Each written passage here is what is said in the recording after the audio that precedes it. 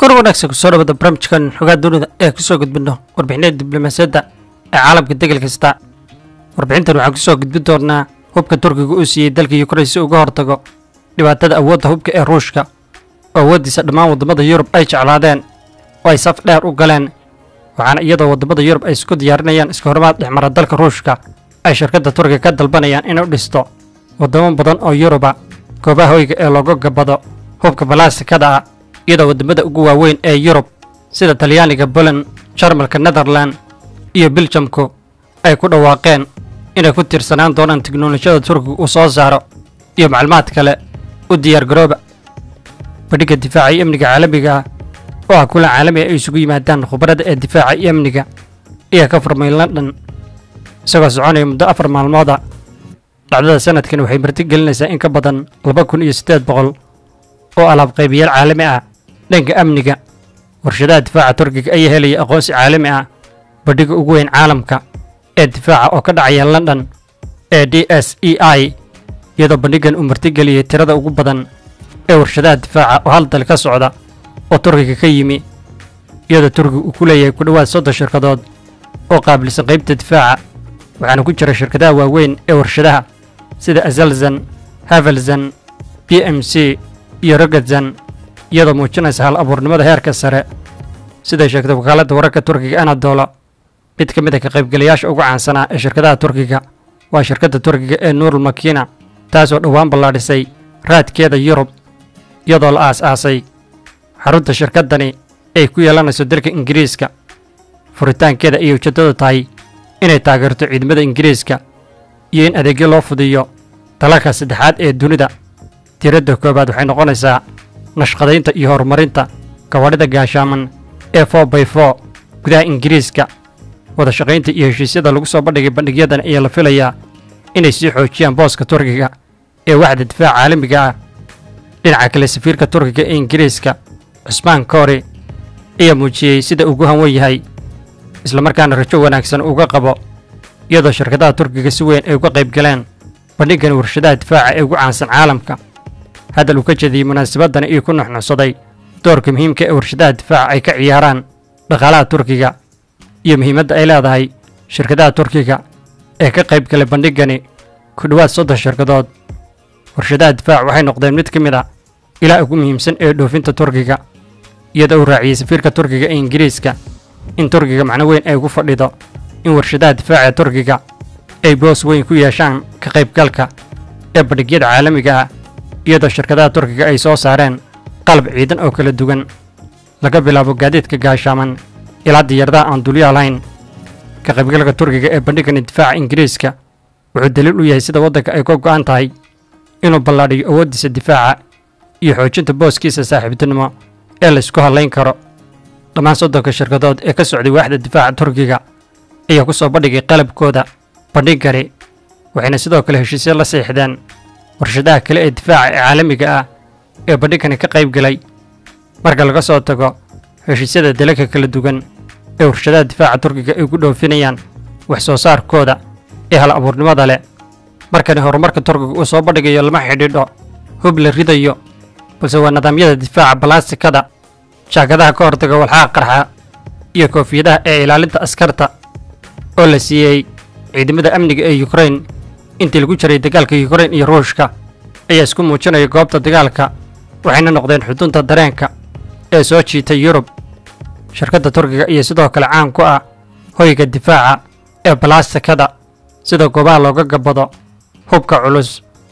iyadoo muddo dheer kadib waddamada yurub ay isu diyaarinayaan waxyeelada ee dagaalka suurtagalka ah ee ka dhici kara yurub. Xiisadda kala dhexaysa ruushka carwadan caalamiga ah shirkadda difaaca turkiga ee norol technology ayaa iftiimisay soo saarista nidaamyada ilaalinta balastikada ah ee ay isticmaalaan ciidamada yukrain iyadoo shirkadda turkiga sidoo kale ay soo bandhigtay qaar ka mid a nidaamyada ilaalinta askarta ee balastikada ee ay isticmaaleen askarta nool ee yukrain oo ay ku yaalaan calaamadaha hubka ee ruushka. Intii lagu jiray iska hormaadyada ee dagaalka yukrain iyo ruushka iyadoo sidoo kale shirkaddani turkiga ay dhisto caratuuriyada ee lagu talagalay inay ka hortagaan qarxiyada iyo sidoo kale hubka siday sheegtay wakaaladda wararka turkiga ee anadolo shirkadda turkiga ee noro technology ayaa noqotay alaab qaybiye muhiima oo bixisa nidaamyada xalalka ee hubka balaasikada ah. Waxaa door muhiima ay ka ciyaartay xoojinta awoodda difaaca ee yukrain waxaa qayb ka ah jaakadaha koofiyadaha taas oo ahayd baahida ugu weyn ee ciidamada yukrain intii lagu jiray muddadani ee iskudhacyada deg dega ay kordheen alabooyinkani hubka balaasikada ah ee lagu qalbeeyey teknolojiyada ugu dambaysay ayaa muhiim u ahaa ilaalinta askarta yukrain iyo kordhinta badbaadadooda. Heer sare adkaysi iyadoo sidoo kale shirkadda turkiga ee nural technology ay muujisay awoodda ay u leedahay inay ku soo saarto dhowr boqol oo ka mid a nidaamyada ilaalinta askarta. Bixinta alaabtani ayaa sii socota sida waafaqsan baahiyaha ciidamada yukrain sidoo kale shirkadda turkiga ee nural technology waxaa kale oo ay dabooshaa baahida ciidamada ee talyaaniga booliiska poland jarmalka iyo booliiska howlgallada gaarka ah ee netherland si shirkadda turkiga ay u bixiso nidaamyada yaryar ee lagu talagalay badbaadada askarta ilaa hadda shirkadda turkiga waxay soo bandhigtay alaab tayo sare leh oo lagu caddeeyey dagaal iyo xaalado kala duwan oo howlgallo ah oo ka jira shanta qaaradood. Siday soo xigatay wakaaladda wararka turkiga anadolo shirkadda turkiga ee nural technology ay hadda buuxisa ku dhowaad boqolkiiba sagaashan iyo shan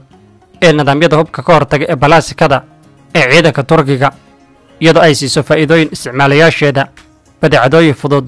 oo leh astaamo oo ilaalin sare leh. Turkiga oo soo jeedatay indhaha guulaha ee laga gaadhay dhinacyo badan ayaa noqotay ciwaanka baahida koofiyadaha militariga ee dalal badani iyadoo dhowaan ay sii kordhayaan jawiga ee colaadeed ee adduunka. Waddamada raadinaya qalab ilaalin balaastiga si ay u ilaaliyaan askartooda ayaa raacaya waddada shirkadaha turkiga. Maamulaha guud ee shirkadda turkiga ee soo saarta xalalka ilaalinta askarta ee nidaamyada fudud salkug seltog ayaa u sheegay wakaaladda wararka turkiga anadolo in horumarrada ugu dambeeyey iyo korarka alaabta ay soo saareen ay soo nooleeyeen carwada caalamiga ee london isagoo raaciyey inay soo gaadheen dalabyo kala duwan oo ay qiimaynayaan oo ay ka mid tahay dalab ka yimid dalka ingiriiska iyo waddamo kala duwan oo yuruba mareyaha guud ee shirkadda turkiga ayaa sheegay in sida nidaamyadani shirkadaha turkiga ay u ilaaliyeen askarta yukrain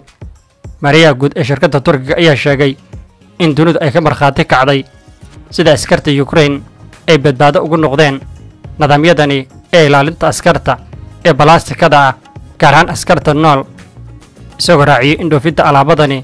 ee shirkadda turkiga ay ka koobnayd konton boqolkiiba dakhliga ee waxsoo saarka shirkadaha difaaca turkiga sannadkii hore waxaanu aragnay faa'iidada ka qayb qaadashada ee bandhigan teknolojiyada caalamiga ah gaar ahaan england. Waxaannu aragnay tirooyinka ee kordhay dhammaadka sannadkani ay noqon doonaan inta u dhexaysa lixdan ilaa iyo lixdan iyo shan boqolkiiba. Waxdhoofinta teknolojiyada ee turkiga ayuu raaciyey marayaha guud ee shirkadda turkiga. Marayaha guud ee shirkadda turkiga salgu saltog ayaa xusay in colaadaha sii badanaya ee dunida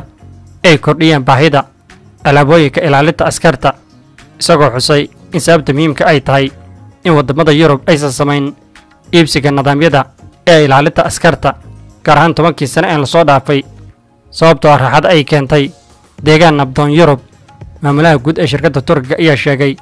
in baahida koofiyadaha ee aad u badan tahay isagoo sheegay in keliya sannadka labada kun iyo saddex labaatanka ay gaarsiin doonaan hal dal oo macmiila in ka badan siddeetan kun oo koofiyad ah maariyaha guud ee shirkadda turkiga ayaa raaciyey waxaan ku leenahay macaamiil badan oo taxanaha in ka badan labiyo labaatan waddan. Waxaan aragnaa inaan ku fidayno juqraafi ballaadhan oo ay ku jiraan juqraafiyadda kala duwan ee yurub